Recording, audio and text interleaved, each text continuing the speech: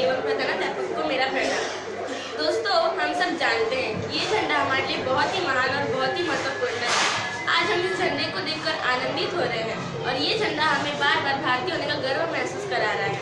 आज जिस झंडे को देखकर भारतीय होने का अभिमान हमारे रगों में दौड़ रहा है, उस झंडे को मेरा प्रणाम दोस्तों, हम सब जानते हैं कि भारत को आज़ादी 15 अगस्त उन्नीस सौ सैंतालीस को मिली थी और इस दिन को हम हर वर्ष बड़े हर्षोल्लास के साथ और बड़े धूमधाम से मनाते हैं ये दिन हमारे लिए किसी बड़े पर्व से कम भी नहीं होता।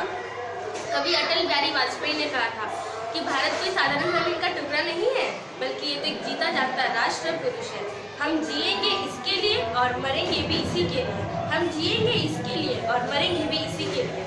इन पंक्तियों का अर्थ यह है कि किसी के लिए भी राष्ट्र से बड़ा और कुछ नहीं होता।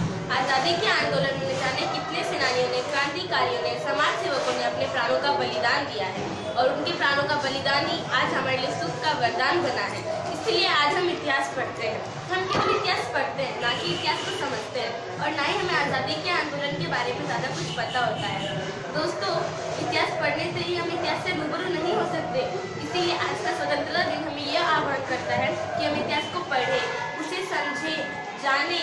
लोकमान्य तिलक भगत सिंह चंद्रशेखर आज़ाद महात्मा गांधी जैसे असंख्य सेनानियों के कार्य को समझे उनसे प्रेरणा लें।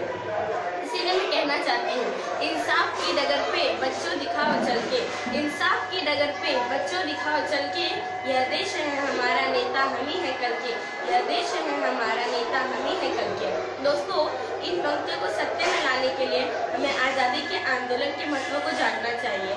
आज हम स्वतंत्रता दिन मना रहे हैं और महाराष्ट्र में जाने कितने जगहों पर कई कई दिनों से दंगे हो रहे हैं जो कि आज के स्वतंत्रता दिन पे अच्छी खबर नहीं है दोस्तों हमें आज़ादी के महत्व को जानना चाहिए क्योंकि आज़ादी प्रतीक ही नहीं, बल्कि वो हमारा स्वाभिमान भी है और इस स्वाभिमान की रक्षा करना हमारा कर्तव्य इसलिए कह, इसलिए मैं कहना चाहती हूँ, आइए, इकट्ठा होकर नए भारत का निर्माण करें और सभी सेनानियों को सलाम करते हुए इस झंडे को भी सलाम करें और भारत की शान को और बढ़ाएँ, उसकी पहचान को अपनाएँ।